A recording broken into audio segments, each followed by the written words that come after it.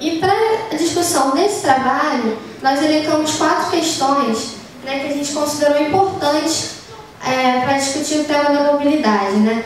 Então, a partir desse nosso relato, as questões né, seriam que estratégias e táticas as pessoas com deficiência utilizam nos seus deslocamentos, né?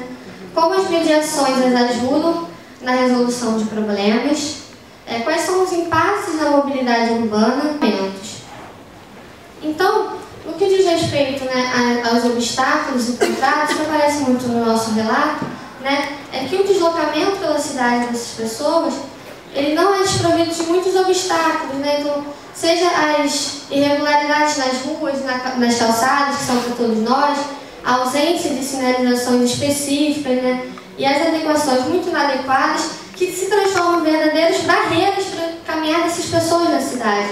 Né? Nos últimos tempos é, um incremento, né, até o surgimento de políticas de mobilidade voltadas para as pessoas com deficiência, a gente observa também que a cidade ela ainda é, na maioria dos casos, planejada a partir do, dos referenciais de um homem que seria um homem padrão, né, um homem que não teria dificuldade de locomoção, é, dificuldade causada por, por deficiência ou pela própria idade, ou uma gestante, enfim. E muitas ações também em, né, chama, de ações de acessibilidade, por exemplo, né, reserva de vagas no estacionamento, vagas preferenciais ou a colocação de piso na calçada, considerados como suficientes para chamar aquele projeto de inclusivo. Né? Então, e muitas experiências são aí desconsideradas, como aparece então no nosso relato, que o próprio piso tátil ele não é garantia de mobilidade, né? É, uma vez que existem pisos táteis que conduzem essas pessoas a postes ou a pilastras ou a lugar nenhum, como na nossa imagem nós temos um piso tátil que acaba numa pilastra, né? e não existe nenhum piso alerta. Né? Então a gente quer pensar a mobilidade para além né, de somente essas adaptações arquitetônicas, ela tem que ser tomada como uma construção, uma construção que é histórica, que é principalmente afetiva, que é cultural, né? Então, e as próprias técnicas que são usadas para implementar essas adaptações, elas também têm que ser tomadas numa dimensão histórica né? e social.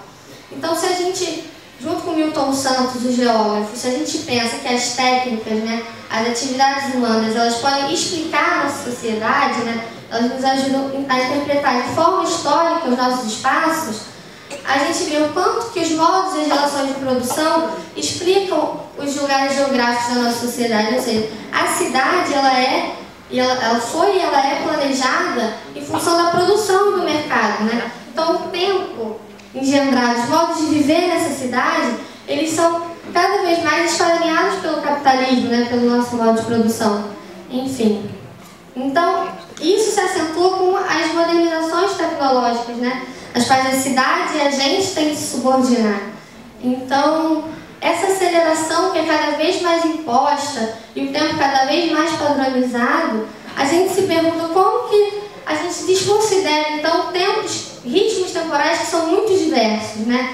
E mais do que isso, como as ações de acessibilidade podem desconsiderar que existem tempos desiguais, né? Então, como o Milton Santos traz também de uma forma muito bonita, que esses tempos lentos e desiguais é o tempo da maior parte da população, né? A maior parte da população que sobrevive nessa cidade e é ignorada pelo planejamento urbano. Então, a gente, com relação ao tempo também, que aparece muito no nosso relato, é como que o tempo ele é medido também de outra forma, ele é sentido de uma forma diferente. Por exemplo, no deslocamento de uma pessoa com deficiência visual, no sentido de que esse tempo ele vai ser medido pelas dificuldades que ele encontra nesse caminho, né, pelos obstáculos. Então, a própria noção de se é perto ou se é longe, né, não vai depender da distância, um tempo estimado para percorrer aquele caminho, mas dos obstáculos que vão ser encontrados e como que eles vão ser contornados, né? Então, o próprio tempo, ele é uma questão na percepção do espaço para aquelas pessoas, né? Então, a partir de tudo isso, a gente pergunta quais são as estratégias adotadas né, por pessoas com deficiência nos seus deslocamentos. E o nosso relato, a nossa entrevistada na ocasião da perda da visão, Né? Ela relata uma estratégia que foi muito importante para ela no primeiro momento, que foi, através da mediação de um profissional, começar a reorientação de mobilidade em casa, no micro-universo, na sua própria residência, para depois alcançar o macro-universo que seria as ruas da cidade. Então, todo um trabalho de redescobrir o movimento do seu próprio corpo, um espaço familiar a ela, que era a sua residência, né? a experimentação de outras sensações, outras percepções para poder. Ou você está num comércio específico, número de ruas atravessadas, ou um som, a voz, um cheiro, o vento, o próprio vento, são referenciais para que essa pessoa possa se orientar e se localizar nos lugares, né? Então, diante de tudo isso, a gente vê, né, percebe quanto que é mobilidade, né? Principalmente no que diz respeito às pessoas com deficiência, é um, tema muito amplo, muito complexo e que envolve diversos atores. Então, não é só a pessoa com deficiência, né, mas quem está ali junto com ela, atuando todo dia, a família dessas pessoas, também como também as pessoas que projetam, né, que constroem os mecanismos de mobilidade e todos nós que circulamos pela cidade. Né? A mobilidade é, é algo que diz respeito a todos nós, porque todos nós temos direito na, na equidade no acesso ao transporte público, a, no uso do espaço público, enfim, tudo isso previsto por uma política nacional de mobilidade urbana. Né? Então, quando a gente toma a mobilidade como prática coletiva, é isso que a gente quer trazer. Porque pessoas com deficiência ou não, nós circulamos e convivemos no mesmo espaço, que é a cidade, né? E essa cidade a gente acredita que poderia, que deveria ser um espaço de troca, um espaço de socialização, um espaço de compartilhar experiências. E que isso não é muito propício, enfim, que a, a gente acredita que a mobilidade urbana deveria favorecer esse movimento, né? Então, uma outra questão que aparece também para a gente é a questão das mediações, né? E como que elas podem ser importantes né, para ajudar no, na resolução de problemas, assim, ou, e como que elas podem também causar constrangimentos, então, tanto para a pessoa com deficiência, tanto para a pessoa que faz essa mediação, ou seja, quando uma pessoa com deficiência é colocada na no condição de incapaz de resolver aquela situação, ou mesmo quando uma pessoa quer ajudar, né, quer tentar fazer uma mediação, mas é recusada, ou ainda quando a pessoa com deficiência solicita essa mediação e é recusada, é ignorada, na verdade, né? Então, o que a gente quis pensar um pouco aqui ao considerar a mobilidade como uma experiência que ela é singular, mas que ela também é coletiva, é afirmar que existem outras formas de aprender e experienciar os espaços que precisam ser consideradas se a gente quer pensar uma cidade acessível. Né? E nesse sentido é fundamental a participação dos usuários nas ações de planejamento do espaço urbano, bem como a Mari colocou também no trabalho dela, a participação dessas pessoas nessas ações. Então, eu queria finalizar a apresentação com uma citação do Milton Santos, que está aí no final, se puder botar um zoom, não sei. Uma citação do livro dele chamado é, técnica, espaço-tempo, é, globalização e meio técnico, científico e informacional. Então lê o texto. Eu vou ler, vou ler. Ele diz, a cidade é o lugar em que o mundo se move mais, e os homens também. A copresença ensina aos homens a diferença. Por isso, a cidade é o lugar da educação e da reeducação. Quanto maior a cidade, mais numeroso e significativo o movimento, mais vasta e densa a copresença, e também maiores as lições e o aprendizado. Então, eu queria finalizar agradecendo a professora Maldete e a Andréia pela parceria, a Associação Fluminense de Reabilitação também, e ao Instituto Benjamin Constant pela oportunidade de compartilhar aqui essas experiências. Obrigada.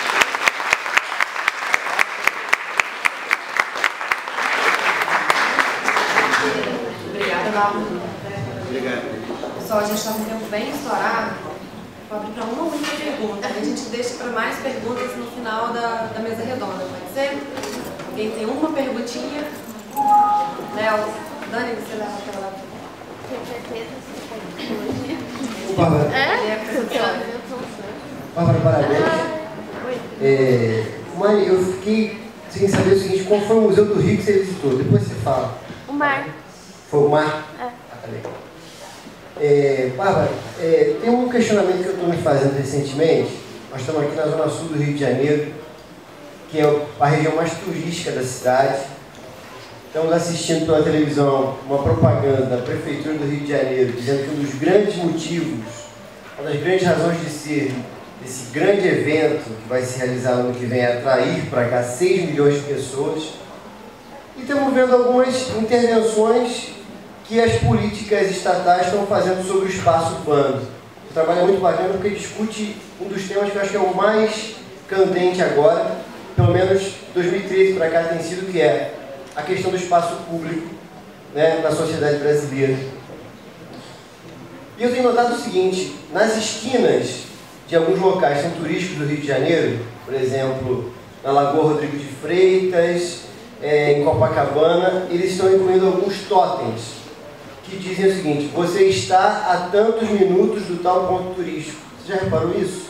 Não, nunca vi. Pois é, ele, em alguns lugares, aquela clássica placa, na esquina do Rio de Janeiro existe uma placa que é predominantemente de cor azul, uma tarja branca, onde se escreve o nome do logrador público, rua, praça, largo.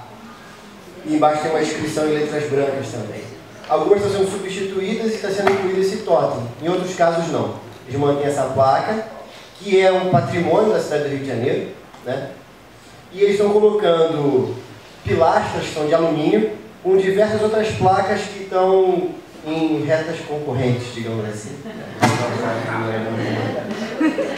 E dizendo que o caminhante urbano tem tanto tempo para chegar no ponto turístico mais próximo ou nos que estão ali ao redor.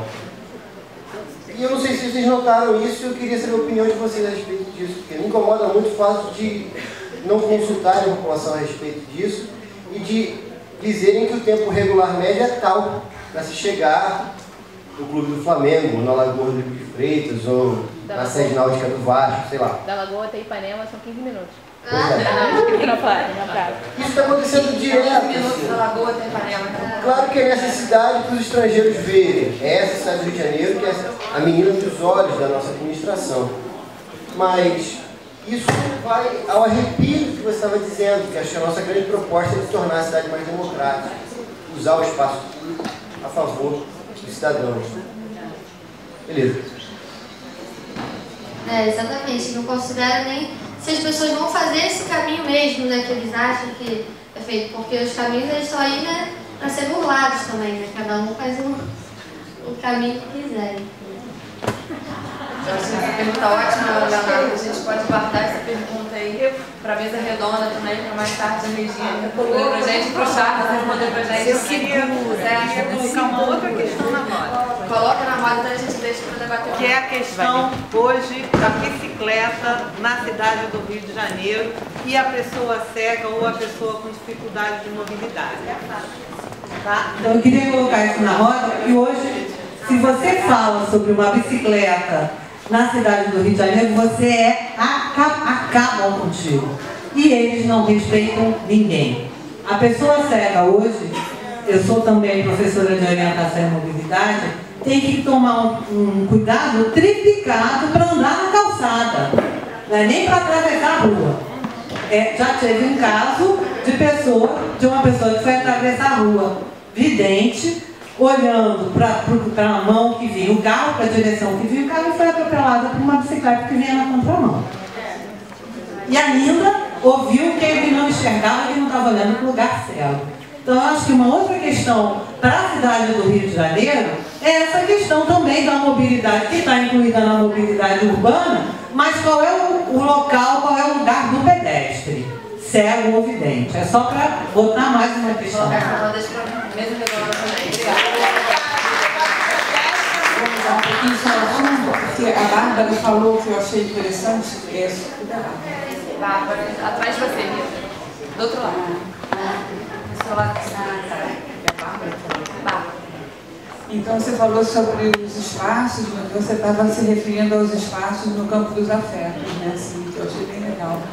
Então quando você falou que aquela é uma pessoa que ficou cega e a primeira coisa que ela primeiro lugar que ela começou a se adaptar foi na própria casa e tal, me fez lembrar a criança pequena, né, o, o bebê cego, aí no caso, no caso da criança que nasce né, com cega, é, que é interessante que a gente pode colocar ela numa caixa, dentro de uma caixa, e, e ela começa a entender o espaço dentro da caixa. Uma caixa de papelão grande, com bolinhas de, de isopor de alguma outra coisa, essas bolas de plástico, e ela começa a dominar o espaço ali. Né? Então é um espaço que não dá para ser, para ser começado grande. Né? Então tem que ter a vivência do corpo e na prática daquela, daquela vivência interessante, com brinquedos ali dentro, e ali ela começa a encostar o braço de um lado, do outro lado, o outro braço, em cima, embaixo, e ela, ela comporta, né? ela, ela se cabe ali dentro. Então eu me lembrei disso, achei bem interessante, me fez lembrar isso. Obrigada. Obrigada, Bárbara, pela apresentação. A próxima apresentação é a última comunicação oral. Depois nós vamos ter um pequeno intervalo um café e voltamos para a mesa redonda com a Regina Cohen e com Charles de Souza. Então, a, última, a próxima apresentação é design de superfície no campo sensorial, superfícies táteis interativas com orientação de mobilidade para crianças deficientes visuais. As autoras são Maria Emília Cabral e Paola de Lima. Quem vai apresentar o trabalho é Maria Emília Cabral.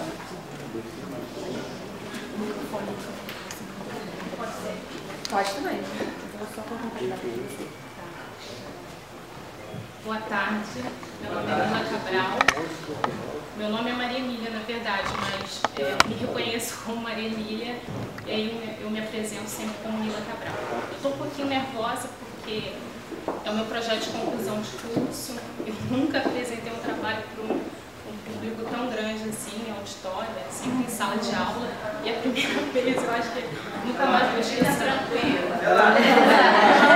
Só somos amigos. Eu trouxe até minha dar um apoio. De ver pagando. É, então, só, só para o seu Cleito, troca por favor o, o trabalho da Luiz já. Ah, tá. Gente, olha só, eu não sou especialista na área de mobilidade. A minha área de atuação é a área de design de superfície, é, que é um desdobramento do design. O que, que faz o design de superfície? Ele projeta superfícies em diferentes tipos de suportes materiais e, depend, e, e o projeto é sempre adequado. O projeto é um título muito grande. Então, eu e a minha orientadora, nós resolvemos batizar esse projeto de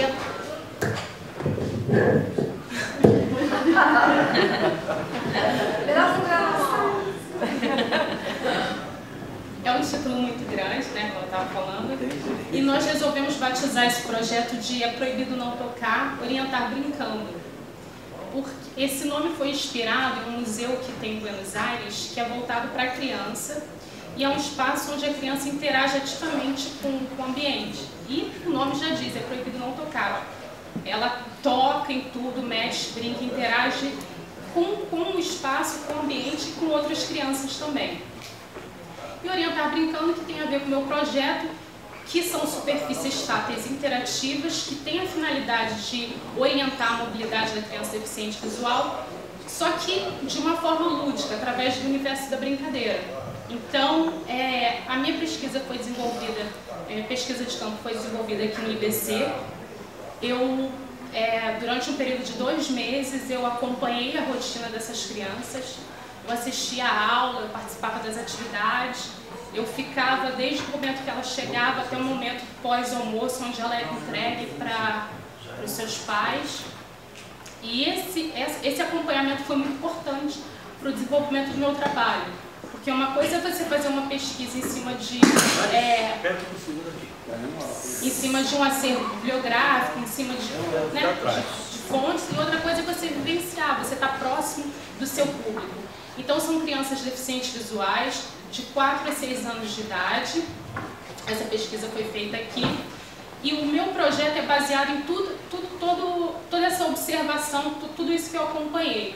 Então, é, eu vi que aqui no IBC Existem faixas é, com texturas contrastantes nos corredores para sinalizar a, a, criança mais ou menos a localização espacial onde ela está, é, para elas fazerem um rastreamento tátil do caminho.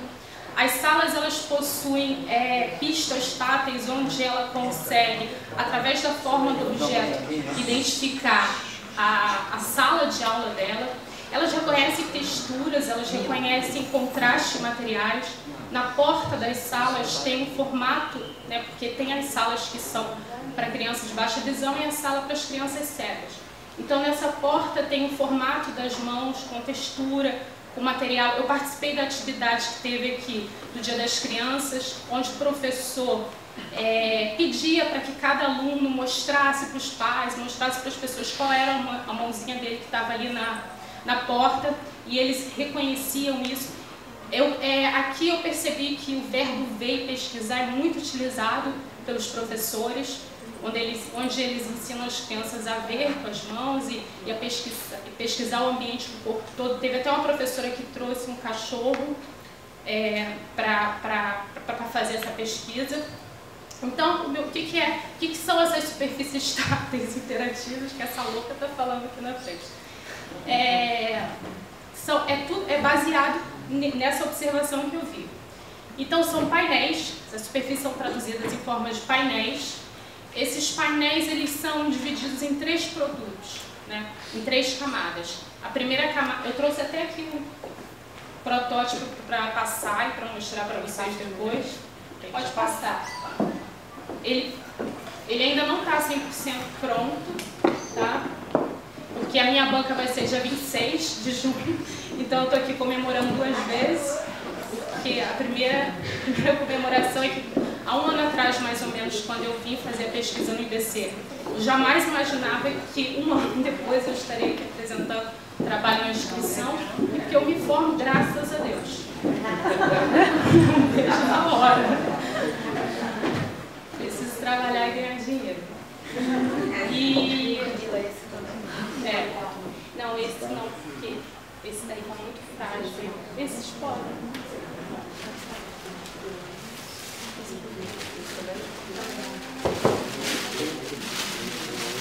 Então, assim, gente, é, como eu estava falando, meu projeto se divide em três produtos.